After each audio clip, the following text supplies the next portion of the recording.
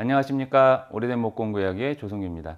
이번 시간에는 2차 세계대전 동안 생산된 대패 두 점을 가지고 이야기해 보겠습니다. 이 대패는 스탠리 타입 17번 4번 대패이고 생산 시기는 2차 세계대전 중인 1940년대입니다. 타입 17번 대패의 특징은 날 깊이를 조절하는 이 너트가 베이크라이트라는 플라스틱으로 되어 있는 점입니다. 다른 시기에 나온 다른 타입의 4번 대패는 황동으로 되어 있습니다. 왜 베이크라이트 같은 플라스틱 너트를 썼을까요? 그것은 탄피 같은 전쟁 물자를 만들기에도 부족한 이 금속을 대패에도 쓰기는 어려웠기 때문이라고 합니다. 그래서 이런 플라스틱으로 너트를 만들어서 사용했습니다.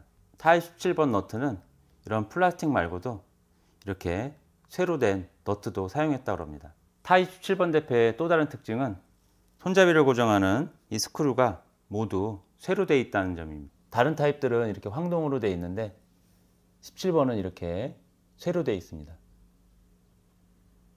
그리고 또 다른 특징은 손잡이가 장미목이 아니라 장미목 색깔로 염색한 것입니다. 이것은 진짜 장미목이고요. 이것은 타입 17번 대패 손잡인데 염색을 해가지고 조금은 장미목 같지만 뒤집어서 보면 이렇게 염색한 것이 티가 납니다. 이 대패는 영국 레코드에서 만든 4번 대패이고 일명 war finish 대패라고 합니다. 왜 war finish 대패라고 부르냐면 다른 레코드 대패들은 이렇게 아무것도 적혀 있질 않은데 날을 좌우로 조절하는 이 레버를 살펴보면 이 부분에 war finish라고 적혀 있습니다. 보이시나요?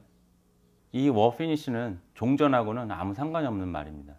무슨 말이냐면 전쟁 기간 동안 니켈 같은 금속이 부족했기 때문에 이런 lever cap 같은 경우는 니켈로 도금하지 않고 마감을 했다는 이야기입니다. 이상으로 2차 세계대전과 관련 있는 대패들을 살펴보았습니다. 온 세상에 평화가 가득하길 바라며 이만 마치겠습니다. 시청해주셔서 감사합니다.